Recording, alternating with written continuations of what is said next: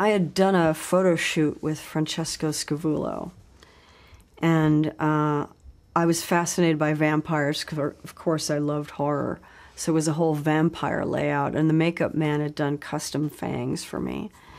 And Franne Lee, who was our costume person, got me this beautiful black gothic dress. And so I still had the makeup from it, and I was walking through 30 Rock going to read through. Jill Clayburgh was the host. And out of my peripheral vision, I see these two forms, and they come into focus, and it's John and Yoko. And as they pass, John says, Hi, Laraine. Not just hi, hi, Laraine. You know, and like all the saliva disappeared in my mouth. I couldn't even respond. You know, so I just kept walking and, you know, got into the elevator with a bunch of other people. And I, I really wanted to just scream, John said hi to me in the hall, but I realized how high school that would have sounded.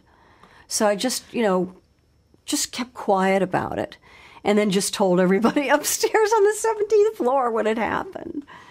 But that, I guess, if there's anything that would be uh, an indication of how well known you are in, in the public's mind, that would probably be the one.